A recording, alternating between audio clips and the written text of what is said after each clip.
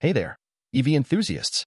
Today, we've got some fascinating news about Tesla's latest innovation, the two-seater Model Y designed specifically for businesses in France. But before we dive in, don't forget to show your support by liking this video and subscribing to EVpedia for more electrifying updates. So, what's the buzz? Tesla recently unveiled a special version of the Model Y tailored for French businesses.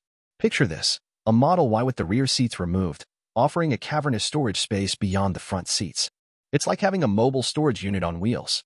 Clement Maguet, a senior account specialist at Tesla, spilled the beans on LinkedIn, revealing that the modified Model Y boasts a whopping 76 cubic feet of storage space, perfect for businesses on the move.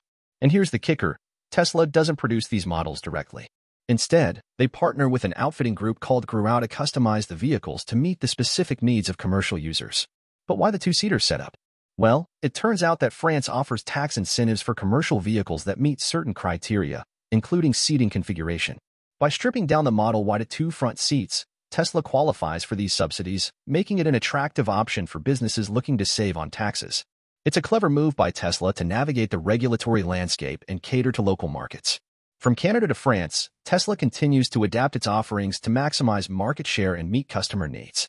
As of now, the two-seater Model Y isn't available for direct purchase from Tesla's French store. Instead, it's being marketed as a business-to-business -business fleet purchase, with pricing details yet to be disclosed. Tesla plans to showcase this innovative vehicle at its stores across France, starting this month and continuing through the summer. So, keep an eye out for this unique Model Y rolling into a Tesla showroom near you. That wraps up our rundown of Tesla's latest venture in France. If you found this update intriguing, don't forget to give it a thumbs up and subscribe to EVpedia for more groundbreaking news in the world of electric vehicles. Thanks for tuning in, and until next time, stay charged.